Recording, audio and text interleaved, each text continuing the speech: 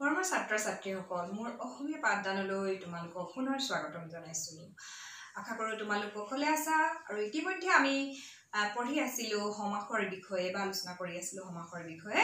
আৰু ইতিমধ্যে আমি পাইছোঁ যে সমাস কাক কয় বা সমাসৰ বিভিন্ন ভাগৰ বিষয়ে আমি পাইছোঁ। তাৰে এটা গুৰুত্বপূৰ্ণ বিভাগ তৎপুৰুষ সমাসৰ বিষয়ে মই আজি তোমালোকৰ আগত আলোচনা কৰিবলৈ আগবাঢ়িছোঁ। আহাচোন চাওঁ। এতিয়া আমি প্ৰথমে দুটা উদাহৰণ চাম। ইয়াতে মই দুটা উদাহৰণ লৈছোঁ। মাতৃক পূজা মাতৃ পূজা চোৰক ধৰা চোৰ ধৰা। এতিয়া আমি এই কটো এই কটো আমি ইয়াত দেখুৱাই দিছোঁ যে কটো কি। এতিয়া আমি জানিব লাগিব যে কটো হৈছে এটা বিভক্তি চিহ্ন শব্দ বিভক্তিৰ দ্বিতীয় শব্দ বিভক্তিৰ চিহ্ন। আৰু এই কথাটো আমি এতিয়া তৎপুৰুষ সমাসৰ বিষয়ে পঢ়িবলৈ যাওঁতে প্ৰথমেই আমি গুৰুত্ব দিবলগীয়া কথাটো হ'ল শব্দ বিভক্তি। এই শব্দ বিভক্তিখিনি আমি জানি ল'ব লাগিব। প্ৰথমা অ ই এ দ্বিতীয়া ক তৃতীয়া ৰে ডি দ্বাৰা চতুৰ্থী অক লৈ পঞ্চমী পৰা ষষ্ঠী ৰ সপ্তমীত। ইতিমধ্যে তোমালোকে এই শব্দ বিভক্তিখিনি পাইছা আৰু এই শব্দ বিভক্তিখিনিৰ ওপৰত সম্পূৰ্ণ জ্ঞান থাকিব লাগিব আৰু তেতিয়াহে আমি তৎপুৰুষ সমাসলৈ যাব পাৰিম। আৰু তৎপুৰুষ সমাসৰ বিষয়ে জানিবলৈ হ'লে আমি চাওঁচোন ইয়াৰ সংজ্ঞাটো কেনেকৈ নিৰ্ধাৰণ কৰা হৈছে। যি সমাসত দুটা ব্যস্ত পদৰ প্ৰথমটো প্ৰথমাৰ বাহিৰে মানে প্ৰথমা বিভক্তিৰ কথা কোৱা হৈছে প্ৰথমাৰ বাহিৰে অন্য বিভক্তি থাকে। আৰু এই বিভক্তি লোপ হৈ সমাস হয় আৰু শেষ ব্যস্ত পদৰ অৰ্থই প্ৰধান হয় তাকেই তৎপুৰুষ সমাস বোলে। ইয়াত কৈছে যে প্ৰথমা বিভক্তিৰ বাহিৰে আমি এটা কথা ইয়াতে স্পষ্ট হৈ আছে যে আমি প্ৰথমা বিভক্তি বিভক্তিটো ইয়াত বাদ দি দিব লাগিব। ইয়াত আমাক প্ৰয়োজন নহয় তৎপুৰুষ সমাসত। অন্য বিভক্তিকেইটা থাকিব কিন্তু। আৰু এই বিভক্তি লোপ পাব। সেই বিভক্তি চিহ্নটো লোপ পাব আৰু শেষ ব্যস্ত পদৰ অৰ্থ ইয়াত প্ৰধানকৈ বুজাব।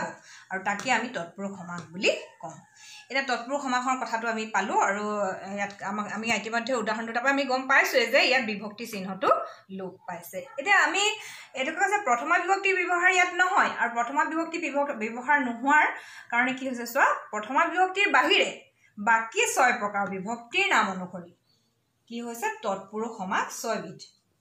ছয়বিধ তৎপুৰুষ সমাস আমি পাম এতিয়া আমি প্ৰথমে পাইছোঁ দ্বিতীয় তৎপুৰুষ।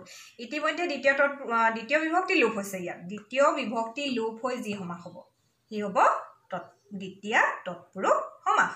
এতিয়া আমি ইয়াত আগতে দুটা উদাহৰণ ইতিমধ্যে পাইছাই তোমালোকে যে আৰু দুটা মই উদাহৰণ তোমালোকৰ বাবে লৈ আহিছোঁ। ভকতক সেৱা ভকত সেৱা গোৱা কটা গোৱা কটা। ইয়াত এতিয়া কটো লোপ হৈছে।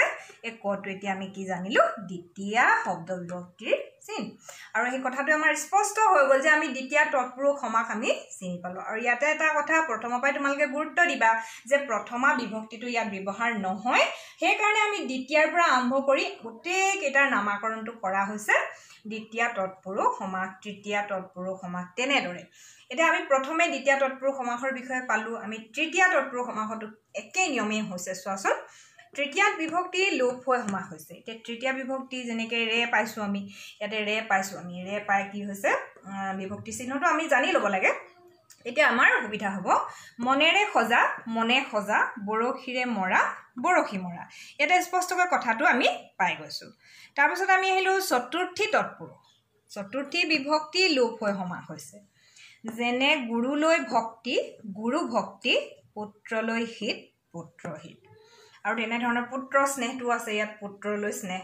ইয়াত এটা কথা ক'বলগীয়া আছে যে যিহেতু বিভক্তি চিহ্নবিলাক কিহৰ লগত জড়িত হৈ থাকে? কাৰকৰ লগত জড়িত হৈ থাকে। কৰ্তা কৰ্মকৰণ এনেধৰণে আমি কাৰকবিলাক পাইছোঁ। আৰু কাৰকবিলাকৰ ইয়াতে আমি সম্প্ৰদান কাৰকৰ বিষয়ে ক'ব লাগিব ইয়াত। যে সম্প্ৰদান কাৰকৰ কথা ইয়াত জড়িত হৈ আছে। আমি সম্প্ৰদান কাৰকৰ সূত্ৰটো লৈ বা সংজ্ঞাটো লৈ চাব লাগিব যে কোনো স্বাৰ্থ নোহোৱাকৈ দান কৰা বুজালে সম্প্ৰদান কাৰক বুজোৱা হয়। এতিয়া তেতিয়া কি হ'ব? এই নিয়মটো চতুৰ্থী তৎপুৰুষ সমাসৰ ক্ষেত্ৰত খাটিব। সেইকাৰণে কোৱা হৈছে যে গুৰুলৈ ভক্তি।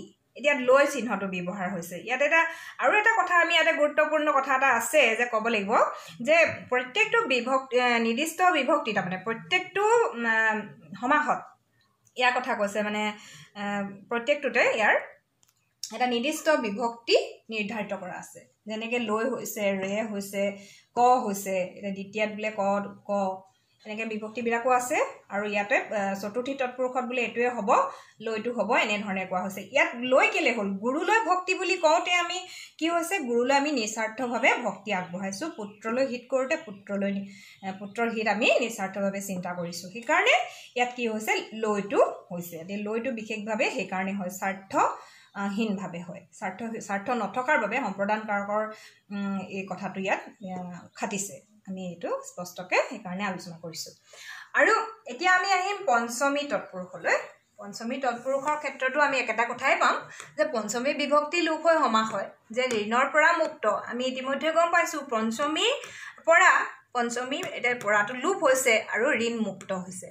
ব্যাধিৰ পৰা মুক্ত ব্যাধি মুক্ত হৈছে সেইদৰে কাৰণে আমি এই কথাকেইটা পাইছোঁ ইয়াত। তাৰপিছত কি হৈছে? আমি কি পালোঁ?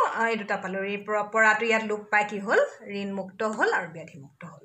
ষষ্ঠী তৎপুৰুষত কি হ'ল? ষষ্ঠী বিভক্তি লোপ পাই লোপ হৈ মানে সমাস হ'ব। এতিয়া পুথিৰ ভঁৰাল পুথিভঁৰাল পৰৰ অধীন পৰাধীন। আমি ষষ্ঠী ৰ বুলি জানো বিভক্তি শব্দ বিভক্তিৰ চিহ্নটো আমি জানো আৰু সেইকাৰণে আমি ইয়াত ক'ব পাৰিছোঁ যে ৰটো ইয়াত বিলোপ বিলোপ হৈ যাব বা লোপ হৈ যাব। আৰু তেতিয়া কি হ'ব? পুথিভঁৰাল হ'ব পৰাধীন হ'ব।